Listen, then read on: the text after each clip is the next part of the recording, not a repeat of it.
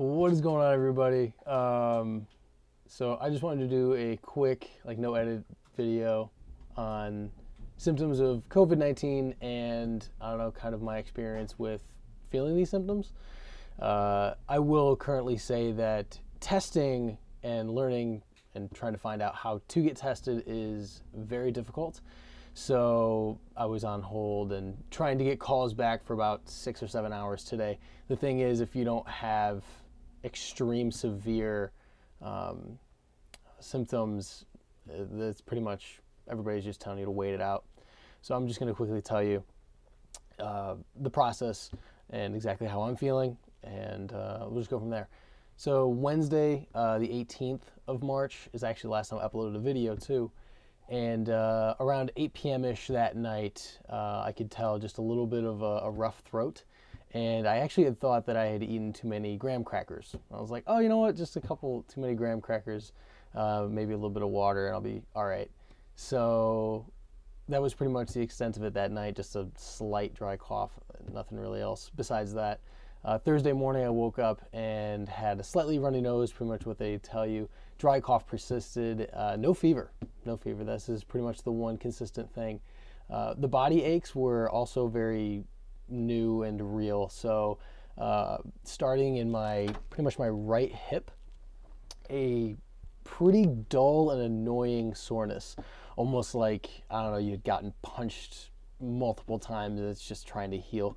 That was pretty consistent. Again, right on that right hand side. This is uh, again Thursday on the 19th.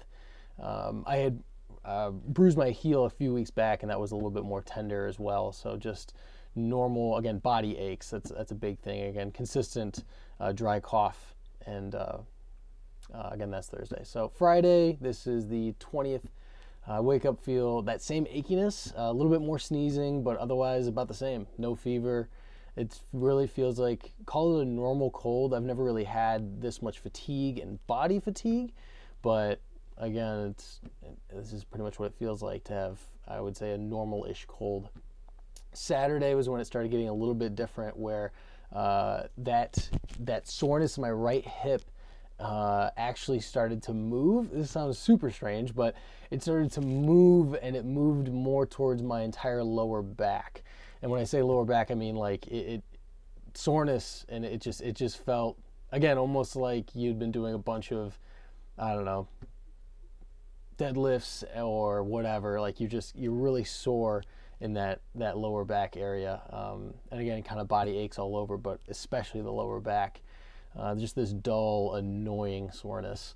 Uh, phlegm is easily dislodged on, on this day. This was again uh, Saturday joints are easily crackable. It sounds super weird, but like, I don't know if you guys ever have uh, or experienced like if you can like crack your knuckles or your fingers or anything like that. Like just walking around, my uh, ankles, my feet, and toes and stuff like that are just kind of cracking and popping. Not like it hurts. It's just you know normal. Uh, cracking, but it's very easy to be done. Of course, th- during this whole time, I've been doing my best to drink a bunch of water, drink and eat healthy as best I can. Obviously, staying away from everybody um, and uh, again, just trying to follow the quarantine rules, if you will. Uh, that was Saturday, and then Sunday, body aching still, but less than it has been. So I'm recording this on Monday, so we're about I don't know five or six days from the initial uh, feelings of symptoms, if you will.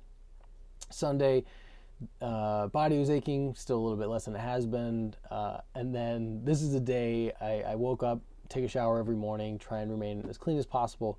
And I put some toothpaste on my toothbrush and started brushing my teeth. And I realized I couldn't taste the toothpaste. That was super weird. Like, you can feel the toothpaste and you can feel that it like, might be kind of fresh, um, but can't taste it. And after that, I had breakfast and same thing, can't taste anything.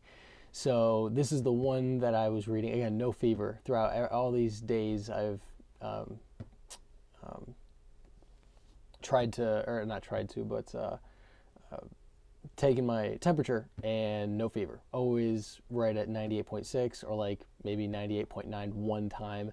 And I mean, that doesn't really even constitute it.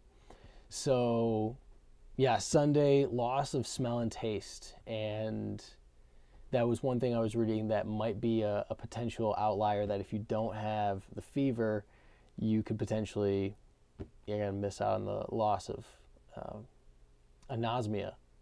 That's what I'm pretty sure that's what that's called. I think I learned that through Scrubs. Shout out Scrubs. Um, so that would be the one that was kind of strange, and it's still persistent today. So this is shot on Monday, the 23rd. So this is day number two without smelling or tasting anything, and I put a bunch of hot sauce on some food, and realized that even the hot sauce can't even. I mean, you can get a tiny bit of like I don't know tingling on your lips, but you can't taste anything else. It's super strange. So right now it really just feels like a like a tightness in my sinus infection or sinus area. Not to say it's a sinus infection. I've never had one, but I would imagine that might be what it could be similar to. Um, but yeah, today is about the same. So the body aches from my lower back have actually moved up a little bit. So they're a little bit more in the middle of my back. And uh, um, again, the sinus area just feels like full. It doesn't feel clogged necessarily. Breathing is fine, um, but more or less just that feeling of just of it being full, whatever that means. Um, cough is persistent still as well. Um, body aches, body shivers are a little bit more today, and um, that that's kind of frustrating. Just like you get you get past one thing and it feels like it's like oh we're kind of coming to the end of it. And then some new thing creeps up like not being able to taste or smell or whatever else. But besides that all i can say is uh, listen to the cdc listen to anybody who tells you what to do in terms of like washing your hands staying away from people quarantining yourself. I mean this is a legit thing. And um, i'm 26 and from what everything I can read, it's you know it, it can be deadly to anybody, but it's usually people who have underlying conditions and uh, age as well. So all I would say is again, wash your hands, stay safe, keep those around you safe, and if you're not experiencing any symptoms, keep it that way. So that's pretty much all I can say. Other than that, just been watching Seinfeld reruns. Uh, I've been trying to drum up some more content for the page, of course and uh, not working, not uh, not doing anything like that. So yeah, now it's just uh, pretty much a waiting game, and that's what I've realized being on on hold for doctors and anything like that is unless you have severe symptoms, unless you have severe case, that they'll just say, eh, well, hang out, you know, stay away from people. So that's all I can say is do just that and uh, take care of yourself. Thank you so much for watching. As always, we'll see you the next video. There's going to be more.